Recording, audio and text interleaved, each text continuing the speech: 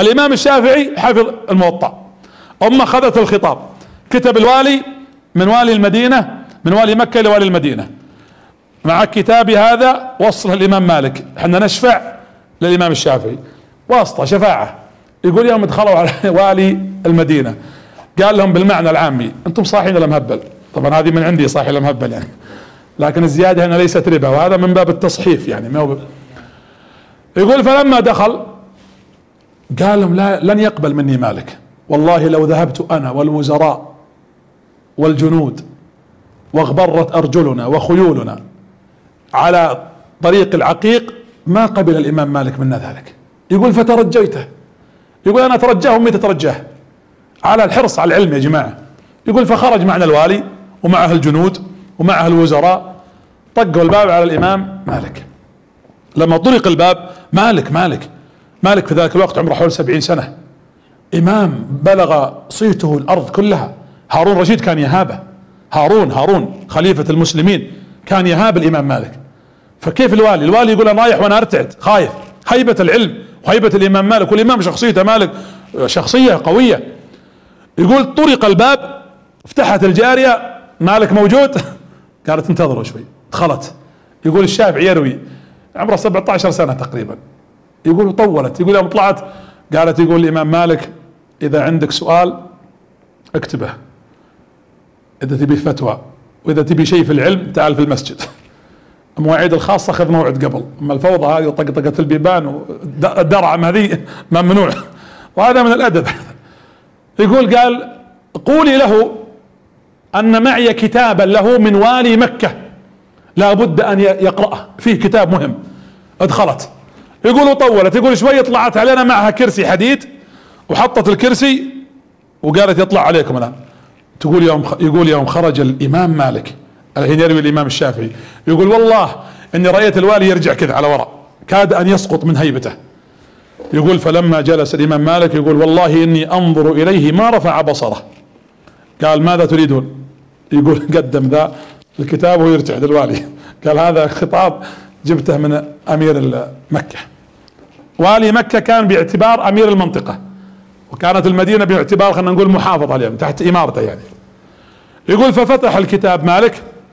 الكتاب مضمونه أن يصلكم محمد بن إدريس الشافعي غلام يحفظ القرآن حريص على طلب العلم. خلوه من خاصتكم ومن طلابكم يقرأ عليكم.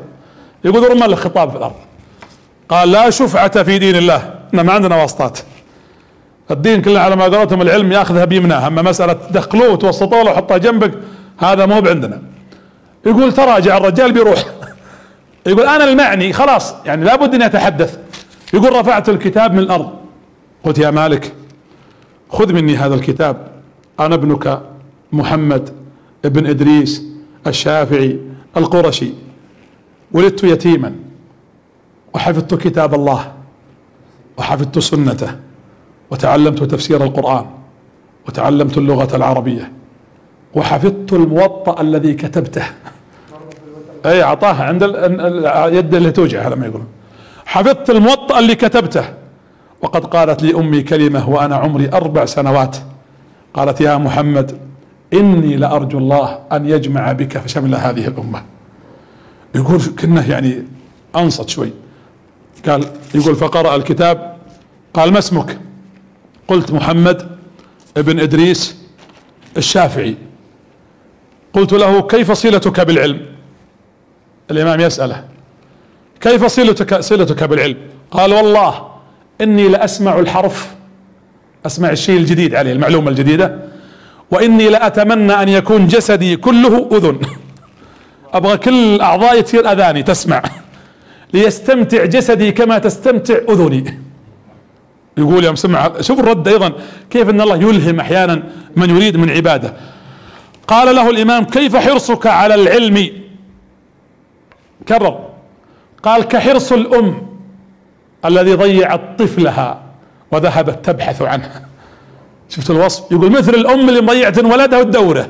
أنا حرصي على بحثي عن العلم مثل حرص هذه الأم. قال له مالك أتحفظ كتاب الله؟ قال احفظه. قال تحفظ سنة رسول قال احفظها.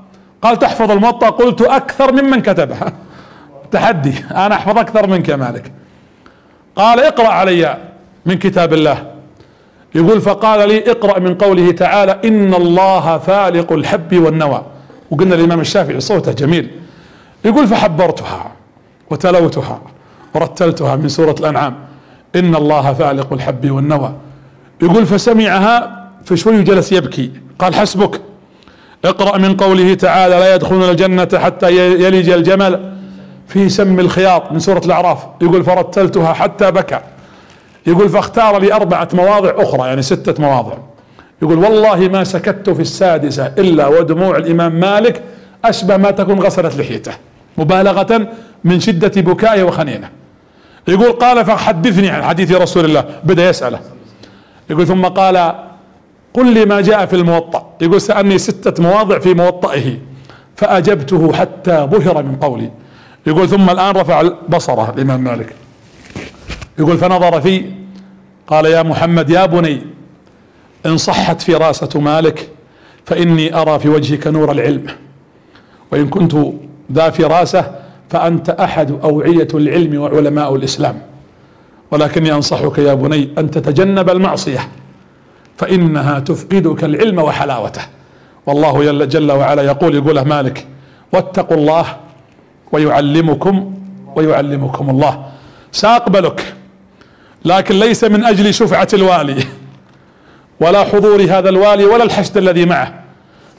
سأقبلك لما تحمل في صدرك من كتاب ومن